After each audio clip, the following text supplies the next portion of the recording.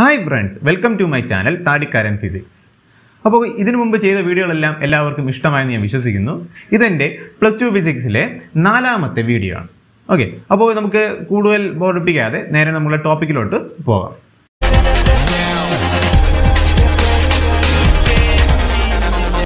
അപ്പോൾ കഴിഞ്ഞ ക്ലാസ്സിൽ നമ്മൾ നിർത്തിവെച്ചത് ഇലക്ട്രിക് ഫീൽഡും ഇലക്ട്രിക് ഫീൽഡ് ലൈൻസും എന്തെന്നാണ്. അപ്പോൾ ഇന്ന് നമുക്ക് നോക്കേണ്ടത് ഇലക്ട്രിക് ഫീൽഡ് ലൈൻസ് എന്തെന്നാണ്. ഓക്കെ അപ്പോൾ നമുക്ക് എന്താണ് ഫീൽഡ് ലൈൻസ് എന്ന് നോക്കാം. ഇലക്ട്രിക് ഫീൽഡ് ലൈൻസ് എന്ന് പറഞ്ഞു കഴിഞ്ഞാൽ ജസ്റ്റ് ഒരു ഇമാജിനറി ലൈൻസ് ആണ്. യഥാർത്ഥത്തിൽ അങ്ങനെ ലൈൻസുകളൊന്നുമില്ല ഒരു സാങ്കല്പിക രേഖയാണ്. ഇനി ഈ ഇലക്ട്രിക് ഫീൽഡ് ലൈൻസ് എന്ന് പറഞ്ഞാൽ ഒരു ചാർജിന് ചുറ്റും ഉണ്ടാകുന്ന ഇലക്ട്രിക് ഫീൽഡിലെ ഓരോ പോയിന്റിലെയും ഡയറക്ഷൻ അറിയാൻ വേണ്ടിയിട്ട് നമ്മൾ വരയ്ക്കുന്ന വരെയാണ് ഈ ഇലക്ട്രിക് ഫീൽഡ് ലൈൻസ് എന്ന് പറയുന്നത്. ഓക്കെ അപ്പോൾ ഞാൻ പറഞ്ഞു ഇലക്ട്രിക് ഫീൽഡ് ലൈൻസ് എന്ന് പറഞ്ഞു കഴിഞ്ഞാൽ ജസ്റ്റ് ഇമാജിനറി ലൈൻസ് ആണ്. അത് എന്തിനു ഉപയോഗിക്കുന്നു എന്ന് ചോദിച്ചു കഴിഞ്ഞാൽ നമുക്ക് ഒരു ചാർജിന് ചുറ്റും ഉണ്ടാകുന്ന ഓരോ പോയിന്റിലും ഉണ്ടാകുന്ന ഇലക്ട്രിക് ഫീൽഡിന്റെ ഡയറക്ഷൻ ഇൻഡിക്കേറ്റ് ചെയ്യാൻ വേണ്ടിയിട്ട് നമ്മൾ വരയ്ക്കുന്നതിനെയാണ് ഈ ഇലക്ട്രിക് ഫീൽഡ് ലൈൻസ് എന്ന് പറയുന്നത്. ഓക്കെ അപ്പോൾ നമുക്ക് അതിന്റെ നമ്മളുടെ അതിന്റെ ഡെഫിനിഷനിലോട്ടൊന്ന് പോവാം. ഓക്കെ അപ്പോൾ ഡെഫിനിഷൻ എന്ന് പറയുന്നത് ഇവിടെ നോക്കുക. കേട്ടോ ദ ഇമാജിനറി ലൈൻസ് അല്ലേ? അപ്പോൾ ഇലക്ട്രിക് ഫീൽഡ് ലൈൻസ് എന്ന് പറഞ്ഞാൽ കണ്ടോ? സെന്റൻസ് തന്നെ തുടങ്ങുന്നത് the imaginary lines used to indicate the direction of field at various points in space okay അപ്പോൾ ഒരു ചാർജിന് ചുറ്റും ഉണ്ടാകുന്ന ഇലക്ട്രിക് ഫീൽഡ് ലൈൻസിന്റെ ഡയറക്ഷൻ പറയാൻ വേണ്ടിയിട്ട് നമ്മൾ റെപ്രസെന്റ് ചെയ്യുന്ന ഒരാളാണ് ഈ ഇലക്ട്രിക് ഫീൽഡ് ലൈൻസ് എന്ന് പറയുന്നത്. ഓക്കെ അപ്പോൾ ഇലക്ട്രിക് ഫീൽഡ് ലൈൻസ് എന്താണ്? നിങ്ങൾക്ക് മനസ്സിലായി. ഇനി ഇലക്ട്രിക് ഫീൽഡ് ലൈൻസിന്റെ കുറച്ച് കാര്യങ്ങൾ അതായത് നമുക്ക് ഇവിടെ ഫിഗർ കൊടുത്തിട്ടുണ്ട്. ഈ നാല് ഫിഗർ എന്ത് ചെയ്യുക? ഒന്ന് നോക്കി വെച്ചിരിക്കുക. ഓക്കെ അപ്പോൾ നമുക്ക് അതിൽ ഫസ്റ്റ് ഫിഗറിലോട്ട് പോവാം. ഓക്കെ അപ്പോൾ നമ്മളിവിടെ നോക്കുക. ഇതിലെ ഫസ്റ്റ് ഫിഗർ എന്ന് പറയുന്നത് കേട്ടോ പോസിറ്റീവ് ചാർജാണ് അല്ലേ? അതായത് ഒരു പോസിറ്റീവ് ചാർജിൽ നിന്ന് ഉണ്ടാകുന്ന അല്ലെങ്കിൽ നമ്മൾ വരയ്ക്കുന്ന ഇലക്ട്രിക് ഫീൽഡ് ലൈൻസ് എപ്പോഴും പുറത്തോട്ടായിരിക്കും. അതിനാണ് ഇവിടെ ഒരു ഇൻഡിക്കേഷൻ പുറത്തോട്ട് കൊടുത്തിട്ടുണ്ട്. ഒരു ആരോ മാർക്ക് കണ്ടല്ലോ? ആരോ മാർക്ക് നമ്മൾ ഇങ്ങോട്ട് കൊടുത്തിരിക്കുകയാണ്. പുറത്തോട്ട് കൊടുത്തിരിക്കുകയാണ്. ഓക്കെ അപ്പോൾ ഇത് എക്സാമിന് നിങ്ങൾക്ക് ചിലപ്പോൾ ഒരു മാർക്കിനൊക്കെ എന്ത് ചെയ്യാൻ ചോദിക്കും? അതിന്റെ ഡയറക്ഷനൊക്കെ ചിലപ്പോൾ മാർക്ക് ചെയ്യാനൊക്കെ ചോദിക്കും. അപ്പോൾ അതുകൊണ്ടൊന്ന് നിങ്ങളൊന്ന് മനസ്സിലാക്കി വെച്ചിരിക്കുക അതിനകത്ത് കാണാപ്പാടം പഠിക്കാനായിട്ട് ഒന്നുമില്ല. ഓക്കെ അപ്പോൾ ശ്രദ്ധിക്കുക. പോസിറ്റീവ് ചാർജിൽ നിന്ന് നമ്മൾ വരയ്ക്കുന്ന ഫീൽഡ് ലൈൻസ് എപ്പോഴും ഔട്ട്വേർഡ്സ് ആയിരിക്കും.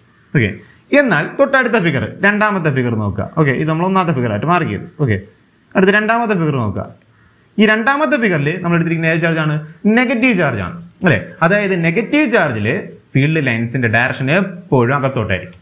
ഓക്കെ അപ്പൊ പോസിറ്റീവ് ചാർജിൽ ഫീൽഡ് ലൈൻസ് എപ്പോഴും പുറത്തോട്ട് ഇനി നെഗറ്റീവ് ചാർജിൽ ഫീൽഡ് ലൈൻസ് എപ്പോഴും എങ്ങോട്ടാണ്? അകത്തോട്ടാണ്. ഓക്കെ ഇനി അതുകൊണ്ട് ഡയറക്ഷൻ സൂചിപ്പിക്കാൻ വേണ്ടിയിട്ട് അകത്തോട്ടാണോ സൂചിപ്പിക്കാൻ വേണ്ടി നമ്മളിവിടെ ആരോ മാർക്ക് സൂചിപ്പിച്ചിട്ടുണ്ട്. ഓക്കെ ഇനി നമുക്കറിയാം. ഇപ്പൊ പഠിച്ചു കഴിഞ്ഞു. ഒരു പോസിറ്റീവ് ചാർജിൽ നിന്ന് ഫീൽഡ് ലൈൻസ് എപ്പോഴും പുറത്തോട്ടും നെഗറ്റീവ് ചാർജിൽ ഫീൽഡ് ലൈൻസ് എപ്പോഴും എങ്ങോട്ടായിരിക്കും അകത്തോട്ടായിരിക്കും. അങ്ങനെയാണെങ്കിൽ ഒരു പോസിറ്റീവും നെഗറ്റീവും നമ്മൾ ഒരുമിച്ച് വെക്കുകയാണ്. അതാണ് നമ്മുടെ മൂന്നാമത്തെ ഫിഗർ അല്ലേ? ഒരു പോസിറ്റീവും നെഗറ്റീവും ഒരുമിച്ച് വെക്കുമ്പോൾ പോസിറ്റീവിൽ നിന്ന് സ്റ്റാർട്ട് ചെയ്തിട്ട് എവിടെ തീരും? നെഗറ്റീവിൽ തീരും. അപ്പോൾ പോസിറ്റീവിൽ നിന്ന് പുറത്തോട്ട് പോകുന്നു നെഗറ്റീവിൽ വന്ന് അകത്തോട്ട് വരുന്നു. അല്ലേ? ഇതാണ് നമ്മുടെ മൂന്നാമത്തെ ഫിഗർ ഓക്കെ മൂന്നാമത്തെ ഫിഗർ ഇവിടെ നമുക്ക് മനസ്സിലാവും. കണ്ടോ? പോസിറ്റീവിൽ നിന്ന് തുടങ്ങുന്നു. ആരമാർഗങ്ങൾ പുറത്തിട്ടുണ്ട് അല്ലേ? ഇനി എവിടെ വന്ന് തീരുന്നു? കണ്ടോ? നെഗറ്റീവിലോട്ട് വന്ന് തീരുകയാണ്.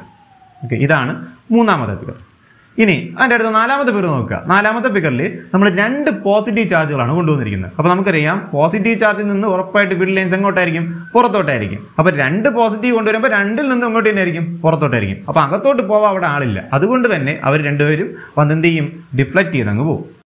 അപ്പൊ നെക്സ്റ്റ് നമുക്ക് നോക്കേണ്ടത് ഫീൽഡ് ലൈൻസിന്റെ അതായത് ഇപ്പോൾ പഠിച്ച ഇലക്ട്രിക് ഫീൽഡ് ലൈൻസിന്റെ പ്രോപ്പർട്ടീസ് ആണ്. എക്സാമിന് സ്ഥിരം റിപ്പീറ്റ് ചെയ്ത ഒരു മാർക്കിനോ രണ്ട് മാർക്കിനോ റിപ്പീറ്റ് ചെയ്ത് ചോദിക്കുന്ന ഒരു ക്വസ്റ്റ്യൻ ആണ് electric properties of electric field lines അപ്പോൾ നമുക്ക് അതിൽ ഫസ്റ്റ് പ്രോപ്പർട്ടിയിലോട്ട് പോകാം ഫസ്റ്റ് പ്രോപ്പർട്ടി എന്ന് പറയുന്നത് നമ്മൾ തൊട്ട് മുന്നേ പഠിച്ചതായിരുന്നു. ആ ഫിഗർ വെച്ച് പഠിച്ചത് തന്നെയാണ്. പോസിറ്റീവിൽ നിന്ന് ഫീൽഡ് ലൈൻസ് പോസിറ്റീവിൽ നിന്ന് തുടങ്ങി എവിടെ തീരും? നെഗറ്റീവിൽ തീരും. ഓക്കെ അപ്പോൾ ഫീൽഡ് ലൈൻസിന്റെ ഫസ്റ്റ് പ്രോപ്പർട്ടി പഠിച്ചു കഴിഞ്ഞു. പോസിറ്റീവിൽ നിന്ന് സ്റ്റാർട്ട് ചെയ്ത് എവിടെ തീരുന്നു? നെഗറ്റീവിൽ തീരും. ഓക്കെ അതാണ് സെന്റൻസ് ഇവിടെ കിടപ്പുണ്ട്. Electric field lines originates from എവിടെയാണ്? Positive and at ends at എവിടെയാണ്? നെഗറ്റീവ് ഓക്കെ അപ്പോൾ പോസിറ്റീവ് ചാർജിൽ നിന്ന് ഒറിജിനേറ്റ് ചെയ്തിട്ട് ഇവിടെ ഒന്ന് തീരും. നെഗറ്റീവ് ചാർജിൽ ഒന്ന് തീരും. അപ്പോൾ അതിന്റെ റെപ്രസെന്റേഷൻ ചെറിയൊരു റെപ്രസെന്റ് അറിയാന്നുള്ളത് തന്നെയാണ്. എന്നാലും ചെറിയൊരു റെപ്രസെന്റേഷൻ ഇവിടെ ഇവിടെ നിന്ന് മാർക്ക് ചെയ്യാം. ഓക്കെ ഇത് പോസിറ്റീവ് നെഗറ്റീവ് ആണെങ്കിൽ നമുക്കറിയാം പോസിറ്റീവിൽ നിന്ന് തുടങ്ങി ഇവിടെ തീരുന്നു നെഗറ്റീവ് തീരും. ആരോ മാർക്ക് ഇടുക പോസിറ്റീവിൽ നിന്ന് തുടങ്ങി ഇവിടെ തീരുന്നു നെഗറ്റീവിൽ തീരും.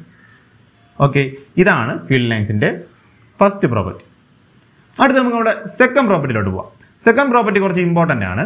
അതായത് ഈ വരയ്ക്കുന്ന ഇലക്ട്രിക് ഫീൽഡ് ലൈൻസ് നമ്മളിപ്പോൾ ഒരു ഇമാജിനറി ആണ് ഫീൽഡ് ലൈൻസ് എന്ന് പഠിച്ചു. അപ്പോൾ ഈ വരയ്ക്കുന്ന ഫീൽഡ് ലൈൻസിൽ ഏതെങ്കിലും ഒരു പോയിന്റിൽ ഇലക്ട്രിക് ഫീൽഡിന്റെ ഡയറക്ഷൻ എനിക്ക് കിട്ടണമെങ്കിൽ ആ പോയിന്റിൽ വെച്ച് ഞാനൊരു ടാൻജന്റ് വരച്ചു കൊടുത്താൽ മതി. ഓക്കെ അപ്പോൾ ഫീൽഡ് ലൈൻസിൽ ഏതെങ്കിലും പോയിന്റിൽ ഡയറക്ഷൻ അറിയണമെങ്കിൽ ആ പോയിന്റിൽ നിന്ന് ഒരു ടാൻജന്റ് വരയ്ക്കുന്നതായിരിക്കും ആ പോയിന്റിലെ ഫീൽഡ് ലൈന്റെ ഡയറക്ഷൻ ഓക്കെ അപ്പോൾ അതിന്റെ ഒരു റെപ്രസെന്റേഷൻ ഇവിടെ നമുക്ക് മാർക്ക് ചെയ്യാം. ഇപ്പോൾ ഒരു പോസിറ്റീവ് ചാർജ് ഞാൻ എടുക്കുകയാണ്. ഓക്കെ ഒരു നെഗറ്റീവ് ചാർജ് എടുത്തിട്ടുണ്ട്. അപ്പോൾ പോസിറ്റീവ് നിന്ന് നെഗറ്റീവായിട്ടായിരിക്കും എന്ത്? ഫീൽഡ് ലൈൻസ് അല്ലേ? അത് നമ്മൾ അറിയാം. അങ്ങനെയാണെങ്കിൽ എനിക്കിതാ ഇവിടെ ഒരു പോയിന്റ് ഞാൻ മാർക്ക് ഓക്കെ ഒരു പോയിന്റ് ഇവിടെ മാർക്ക് ഈ പോയിന്റിലുള്ള അതായത് ഞാൻ ഇവിടെ മാർക്ക് ചെയ്തിരിക്കുന്ന പോയിന്റിലുള്ള ഫീൽഡിന്റെ ഡയറക്ഷൻ എനിക്ക് അറിയണം അങ്ങനെ അറിയണമെങ്കിൽ ആ പോയിന്റിന് എന്ത് വരച്ചു കൊടുക്കുക? ഒരു ടാൻജന്റ് വരച്ചു കൊടുക്കുക. ഓക്കെ അപ്പൊ ഈ ടാൻജന്റ് ആണ് ആ ടാൻജന്റ് ആണ് ആ പോയിന്റിലെ ഫീൽഡിന്റെ ഡയറക്ഷൻ ഓക്കെ അപ്പോൾ മനസ്സിലായെന്ന് വിശ്വസിക്കുന്നു. ഓക്കെ അപ്പോൾ രണ്ടാമത്തെ പ്രോപ്പർട്ടി പഠിച്ചു കഴിഞ്ഞു. രണ്ടാമത്തെ പ്രോപ്പർട്ടി നമുക്ക് സെന്റൻസ് ആയിട്ട് നോക്കാം. The tangent drawn at a point of an electric line of force will give the direction of electric field at the point okay അപ്പോൾ ആ പോയിന്റ് എന്ന് വരയ്ക്കുന്ന ടാൻജന്റ് ആയിരിക്കും ആ പോയിന്റിലുള്ള ഇലക്ട്രിക് ഫീൽഡിന്റെ ഡയറക്ഷൻ ഓക്കെ അത് രണ്ടാമത്തെ പോയിന്റ് അടുത്ത് മൂന്നാമത്തെ പ്രോപ്പർട്ടിയിലോട്ട് പോവാം. മൂന്നാമത്തെ പ്രോപ്പർട്ടി എന്ന് പറഞ്ഞു കഴിഞ്ഞാൽ കുറച്ച് ഇമ്പോർട്ടന്റ് ആയിട്ടുള്ള ഒരു പ്രോപ്പർട്ടി ഒരു പ്രോപ്പർട്ടിയാണ് മൂന്നാമത്തെ പ്രോപ്പർട്ടി അതായത് ഈ ഫീൽഡ് ലൈൻസ് അതായത് ഇപ്പോൾ ഇവിടെ ഒരുപാട് നമുക്കറിയാം ഒരു ചാർജ് ചുറ്റും ഇഷ്ടംപോലെ ഫീൽഡ് ലൈൻസ് ഉണ്ട് അല്ലേ? ഈ ഫീൽഡ് ലൈൻസുകൾ ഒന്നും ഒരിക്കലും എന്ത് ചെയ്യത്തില്ല കൂട്ടിമുട്ടത്തില്ല ഓക്കെ എന്ത് ചെയ്യത്തില്ല? കൂട്ടിമുട്ടത്തില്ല. കൂട്ടിമുട്ടത്തില്ല മീൻസ് എന്ത് ചെയ്യത്തില്ല? അവർ ഇന്റർസെക്ട് ചെയ്യത്തില്ല ഓക്കെ അതാണ് അടുത്ത പോയിന്റ് ഇതൊക്കെ ഇവിടെ കിടപ്പുണ്ട്. Two lines of force never intersect each other okay അപ്പൊ രണ്ട് ഫീൽഡ് ലൈൻസുകൾ ഒരിക്കലും എന്ത് ചെയ്യത്തില്ല കൂട്ടിമുട്ടത്തില്ല. ഓക്കെ ഇനി കൂട്ടി അത് അവർ തമ്മിൽ ഇന്റർസെക്ട് ചെയ്യത്തില്ലെന്ന് നിങ്ങൾ പഠിച്ചു. ഇനി അങ്ങനെയാണെങ്കിൽ അവിടെ നിന്ന് സ്ഥിരം എക്സാമിന് ചോദിക്കുന്ന ഒരു മാർക്കിന് ചോദിക്കുന്ന ഒരു ക്വസ്റ്റ്യൻ ആണ് എന്തുകൊണ്ട് കൂട്ടിമുട്ടുന്നില്ല? ഓക്കെ അപ്പൊ അതിന്റെ കൂടെ ഒരു വൈ എന്നൊരു ക്വസ്റ്റ്യൻ ഉടങ്ങ് വരും എന്തുകൊണ്ട് ഇവർ കൂട്ടിമുട്ടുന്നില്ല? അപ്പൊ അതിന്റെ എക്സ്പ്ലനേഷനും തൊട്ട് താഴെ തന്നെ അങ്ങ് അതിന്റെ കൂടെ തന്നെ അങ്ങ് പഠിച്ചു വയ്ക്കുക. ഓക്കെ അതായത് ഇപ്പോ രണ്ട് ഫീൽഡ് ലൈൻസുകൾ ബൈ ചാൻസ് ഒന്ന് ഇപ്പൊ ഇത് ഞാൻ ഒരു ഫീൽഡ് ലൈൻസ് ഇങ്ങനെ വരച്ചിട്ടുണ്ട് ഇത് രണ്ടാമത്തെ ഫീൽഡ് ലൈൻ ഇനി ഇവർ രണ്ടുപേരും ഈ പോയിന്റ് വെച്ച് കൂട്ടിമുട്ടി എന്ന് വയ്ക്കുക. അങ്ങനെ കൂട്ടിമുട്ടുകയാണെങ്കിൽ നമുക്കറിയാം അവിടെ ഒരു പോയിന്റ് ഓഫ് ഇന്റർസെക്ഷൻ വരും അല്ലേ? കൂട്ടിമുട്ടുന്ന ഒരൊറ്റ പോയിന്റ് വരും അല്ലേ? ആ പോയിന്റ് ഞാൻ ആ പോയിന്റ് ഒന്ന് മാർക്കുകയാണ് ഇവിടെ നോക്കുക നമുക്കറിയാം കൂട്ടിമുട്ടുന്ന ഒരു പോയിന്റ് ആ പോയിന്റ് ഞാൻ ഇവിടെ മാർക്ക് ചെയ്തു.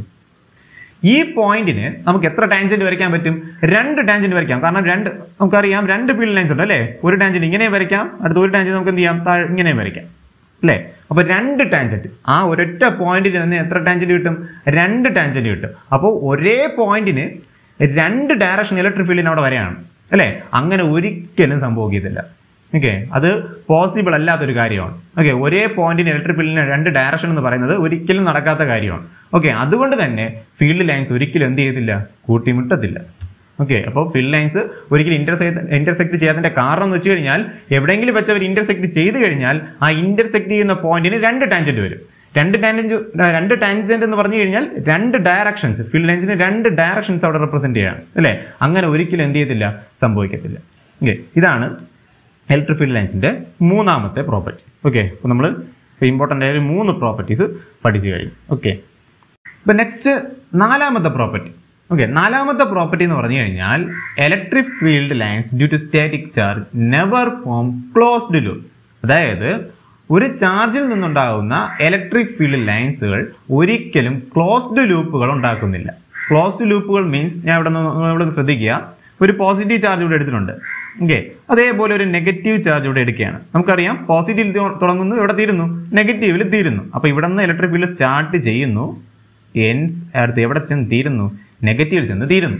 ഓക്കെ ഇനി അടുത്ത് വീണ്ടും എവിടെ നിന്ന് തുടങ്ങുന്നില്ല. ഈ നെഗറ്റീവ് നിന്ന് കറങ്ങി വീണ്ടും ഇതിങ്ങനെ വരുന്നില്ല. നമുക്കറിയാം ക്ലോസ്ഡ് ലൂപ്പ് എന്ന് പറഞ്ഞു കഴിഞ്ഞാൽ ഒരിടത്തു തുടങ്ങി അടുത്ത് ഒരിടത്ത് ചെന്ന് നീന്നിട്ട് വീണ്ടും അവിടെ നിന്ന് ഇങ്ങനെ കറങ്ങി വീണ്ടും വരും. ഓക്കെ ഇതാണ് എന്ത്? ക്ലോസ്ഡ് ലൂപ്പ് ഇപ്പോൾ ഇതൊരു ക്ലോസ്ഡ് ലൂപ്പായി ഇങ്ങനെ എന്ത് ചെയ്യും? റിപ്പീറ്റ് ചെയ്തുകൊണ്ടിരിക്കും. പക്ഷേ ഇലക്ട്രിക് ഫീൽഡ് ലൈൻസിന്റെ കേസ് അങ്ങനെയല്ല. പോസിറ്റീവിൽ നിന്ന് സ്റ്റാർട്ട് ചെയ്തതിന് ശേഷം എവിടെ ചെന്ന് തീരും? നെഗറ്റീവിൽ ചെന്ന് അങ്ങ് തീരും.